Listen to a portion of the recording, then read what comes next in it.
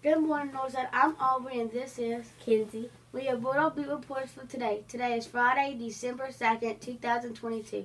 It is the 64th day of school. We're so happy you are here.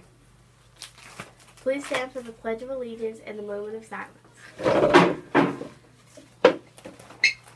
I pledge allegiance to the flag of the United States of America and to the republic for which it stands, one nation, under God, indivisible, for liberty and justice for all.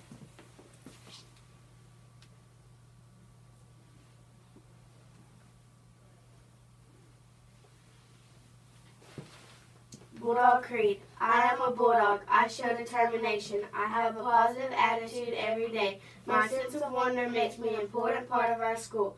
I have grit and patience. I will never give up, even when the days are hard. I will be successful because that's what bulldogs do. We are the Northside Dogs, all day, every day, in every way. The weather forecast for today is sunny with a high of 56. Here are a few important announcements. The Santa shop opens today. Only seven more days of school before Christmas break.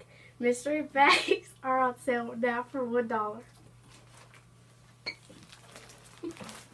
Big birthday shout out.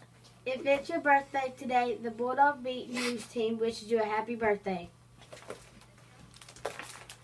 And now for sports update. Cedartown Bulldogs will play tonight in the Final Four. This game will determine if the Bulldogs get to play in the state playoffs. Let's wish them all good luck. See you there. Go Dogs. A word of the day is sleigh. It means a sled pulled by horses or reindeer. It is a noun. Here's an example of the word used in a sentence. Santa's reindeer pull his sleigh full of packed toys.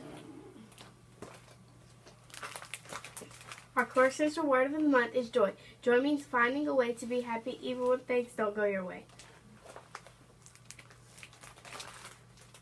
Finally, our winner for today's drawing is Kalia Jones. Come to the media center to receive your prize. Have a merry day, Bulldogs. Tune in tomorrow for another great show.